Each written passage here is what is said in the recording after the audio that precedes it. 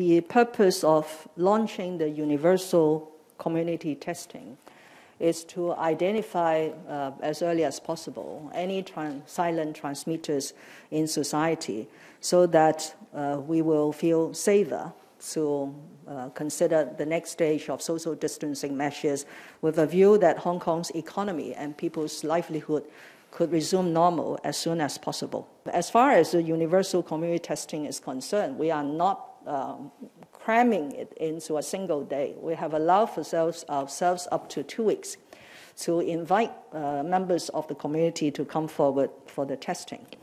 Secondly, we are going to do an online booking system. So preferably we will not be seeing crowds or long queues in front of the swapping, uh, the swapping stations uh, to have the test done. So I, I really think uh, it's, uh, it's inappropriate or just unreasonable to try to compare um, uh, electoral elections to the universal, universal community testing. Um, the second point is why do some people, especially as you describe, well known people, and well known people in the professional fields, have expressed reluctance uh, to join the program or even to um, sort of uh, ask uh, people not to come forward? I just don't know why. Okay. The testing is globally accepted as a good means to um, identify early the confirmed cases so that they could be isolated for treatment.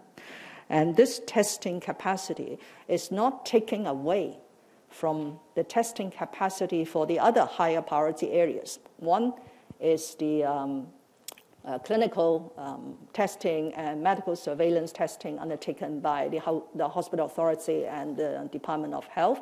Secondly, is the target group uh, testing conducted by various departments. So I would make a strong plea that well known people, especially in the relevant professional areas, should really um, uh, express their view in a more responsible way. Uh, since this is about public health, let's focus on public health.